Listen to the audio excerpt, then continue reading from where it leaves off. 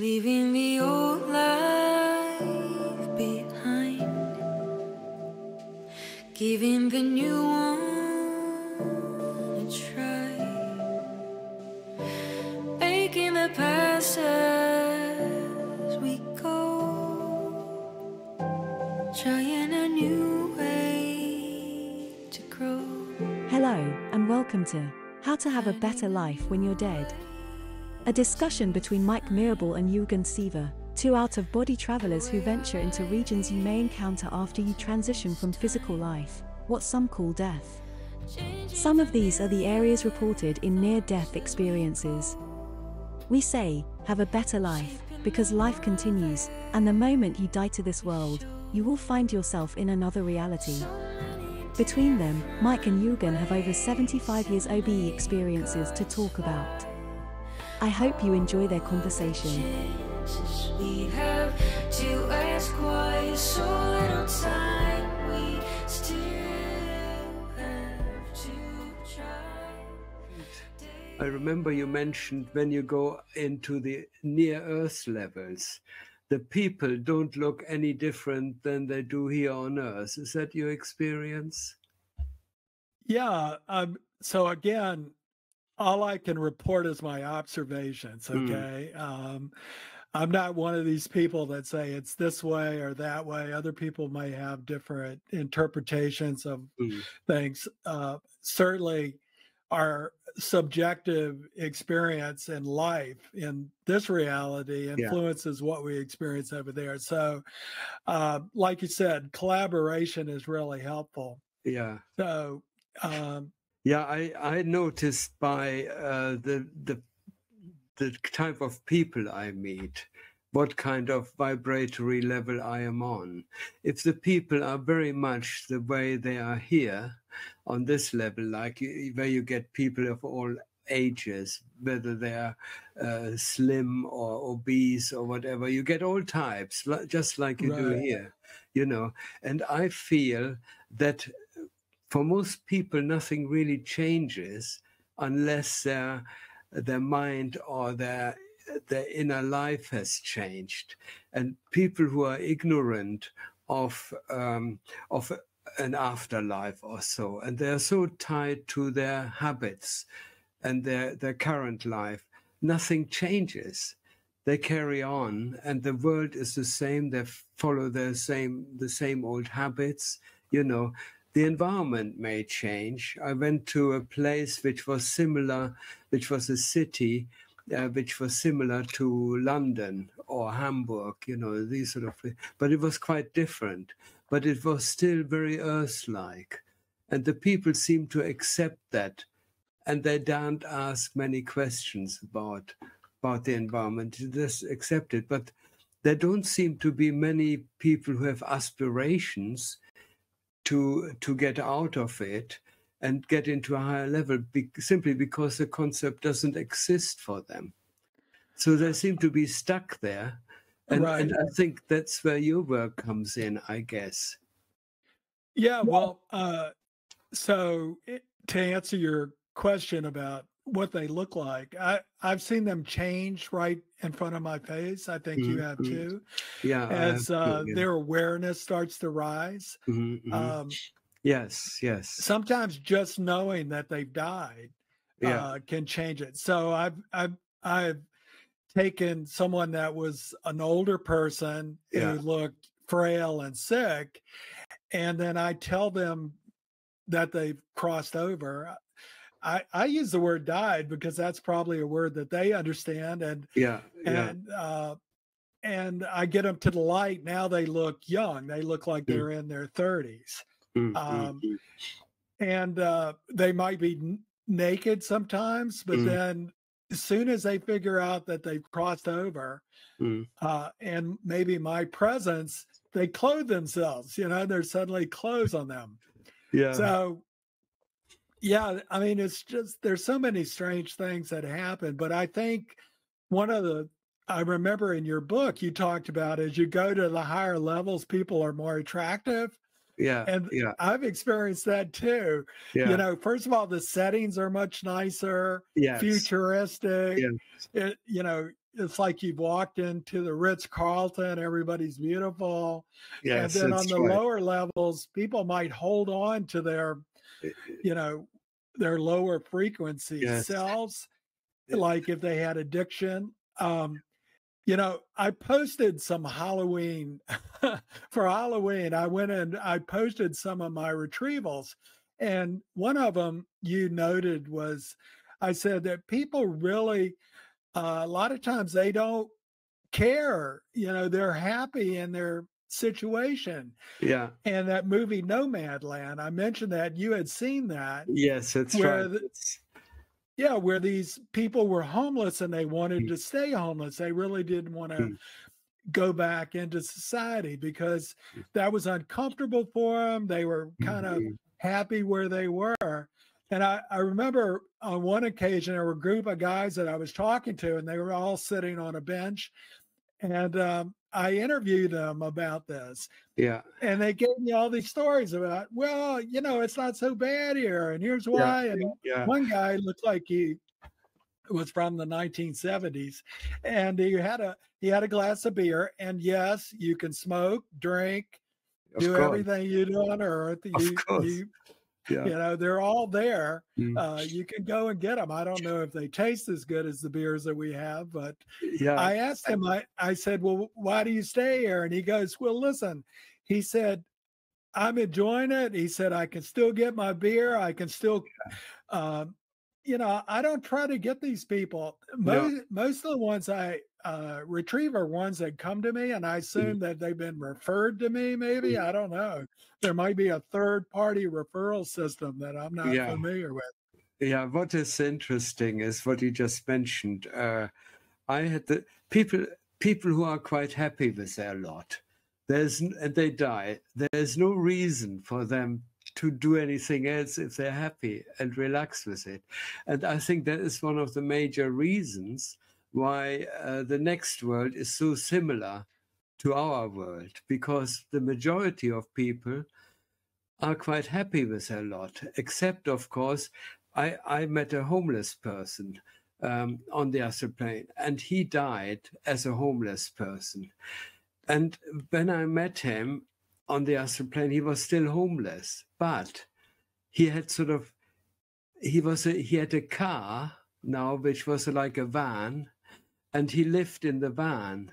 Okay, so he could drive Wow. around, but he he he felt really happy it was almost to him that was the next level of happiness to navigate from a uh, from a sleeping bag on the floor to to make it into a van which he could drive around and to him that was the next level of heaven okay right. So so this is how how relative it is. So when we talk about um, these incredible beautiful sceneries which people report when they go eh, have a near death experience um, uh, there is a sort of archetype of heaven you know which is very often illustrated as beautiful vistas with Right. streams butterflies and all this sort of stuff.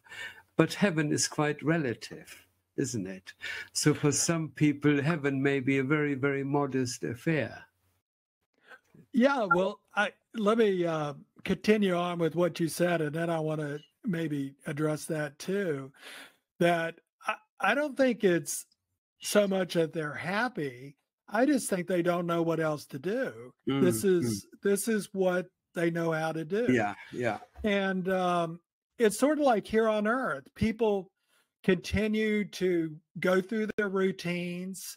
Uh, they may not travel far from where they originally Mm. were born, or if they do, when they move, they stay around there. They go to the restaurants around there. They don't travel the world. Maybe they don't have a lot of interests. Yeah. Uh, maybe they don't have a curiosity.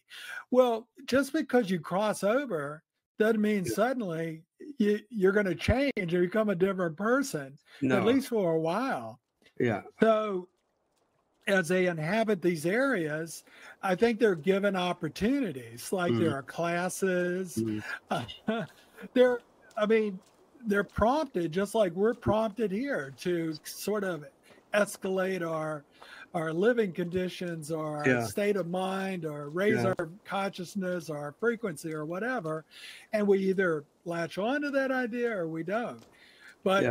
you know, uh, so we call this how to have a li- better life when you're dead. Yeah. Well, I think a way to have a better life when you're dead is to start thinking about what do I want my next level existence to look Yes. like and how can I have a better one? And Mhm. if you're not interested in anything, Mhm. that's not going to change.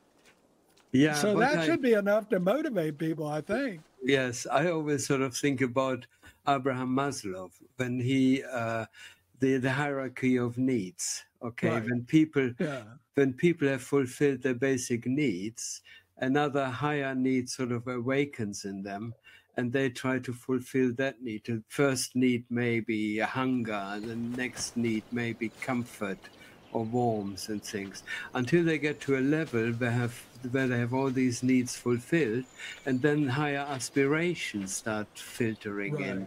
And then I think they acclimatize themselves to these higher aspirations. And being in a thought responsive world, they attract these to them much more Right. easily than we do here on earth. I mean, we do that here on earth as well, you know, when we when we start off as a job which we don't like and gradually we think, oh, I want to be in charge and things, you know. Right.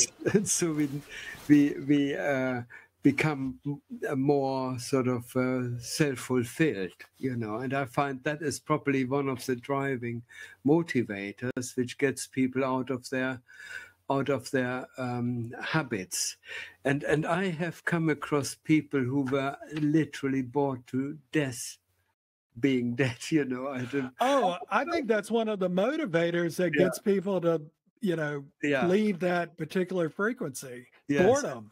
yeah, boredom. That's right. Yeah. And also, I was in the very beginning when I started astral projecting. I was sort of stuck in, this level, and I, I was desperate to get out of it, you know. And uh, you mentioned another guy uh, you wrote about. He said um, he came across electricity wires. Right. Do you remember this? He, he Yeah, said, yeah. yeah, like, uh, and and this is something I, which I also experienced. It's almost as if there are uh, high high um, voltage wires crisscrossing the level, Right. and I can't get through.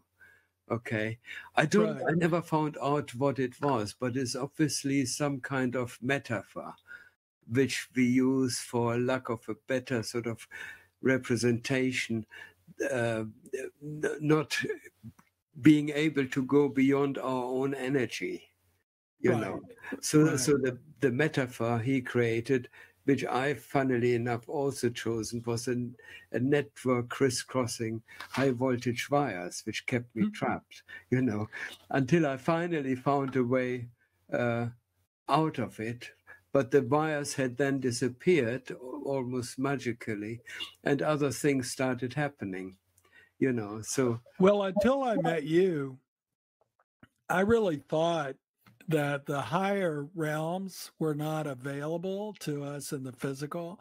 That, um, like people that have near death experiences, uh, they, I think they, they talk about their experiences that they went to heaven and, Yeah. um, but these are places, and I learned this at the Monroe Institute. We call them landing areas. Uh, in Mhm. at the Monroe Institute, they called it Focus 27 or the park. yeah And these are almost like created to provide a sort of comfortable, idealized Mm. version of reality so that when the person gets there, they feel, um, you know, more comfortable with their s- surroundings and circumstances. And there are elements that are projections of things that would make them feel that way. Mm. Uh, but then there's, I think there are things like th- people talk about visiting a library there, Mm, mm. and there are certain things that are sort of static. Uh, more consistent with what I found in Focus 27 or Yeah. the landing area is that it's a place where you go to sort of stage Mm. for where it is that you're ultimately going to end up you know and uh, some might go to higher frequencies or lower frequencies but it's sort of like uh, the metaphor that i like to use is like a radio station Mm-hmm. so when you're listening to a radio uh, listening to the radio you pick up on a particular station that you've turned the knob to Mm-hmm. well there's another station right next to it and occasionally it might bleed into it for most part they're separated Yeah. and that's sort of like our brain locks us into this reality yeah. where we cross over our frequency level, for lack of a better word. And it's not related to how good a person you are or No. what you know, certainly not what you know. It- Mm. it- there's just an overall quality of your being Yeah. that sort of locks you into a particular frequency and that's what Mm. you experience now you can move out of that and Yeah. one of the ways is by just knowing what Yeah. you and i are talking about which is how to have a better life when you're dead Yeah, yeah. That is a beautiful thing. I mean, for example, being an artist, I sort of, I'm trying to bring these images which I can see, you know, even if I don't have out of body experiences. I, it's almost like uh, I'm underwater and then have a periscope, okay, and the periscope perceives this incredibly beautiful terrestrial realm, okay, and I don't even have to be there. I can then go in my, let's say, call it a submarine, drive around the sort of sea level and see different landscapes. And they're all different. Okay. They're all, uh, and they're all new. Then they're not something I've seen before. And I always get surprised. So I don't imagine them. I, I can't possibly imagine them. I just visit them.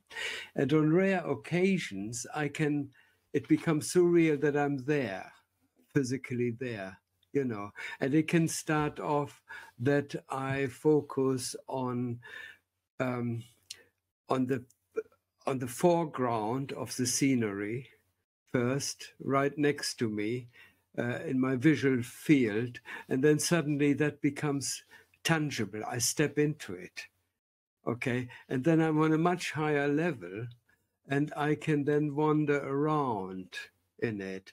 And of course, one thing that happens is I become instantly filled with a completely new um, feeling tone, which uh, Robert Wagner used this word feeling tone.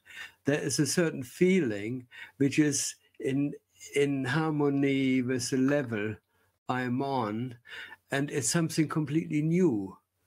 Okay, it's like a new kind of emotion I feel, and that can be interwoven with happiness, with a certain amount of bliss, and also the feeling of feeling quite at home there, something which I have forgotten about. Okay, and and that is beautiful. That can that can go on for for some time, and then I can go back into my normal consciousness and and i can i know it's still there okay so so these these two worlds um, become increasingly interlocked and and i know uh, i'm never really separated from them because i know they're just there you know Right. and and, and so and, and the other thing which i find really interesting is the quality of these words. You know, they've got a distinct quality. Um, and I think it's like uh, you have a certain thought or a certain feeling, and the feeling has to express a feeling in a, in a way, you can express a feeling in a type of landscape.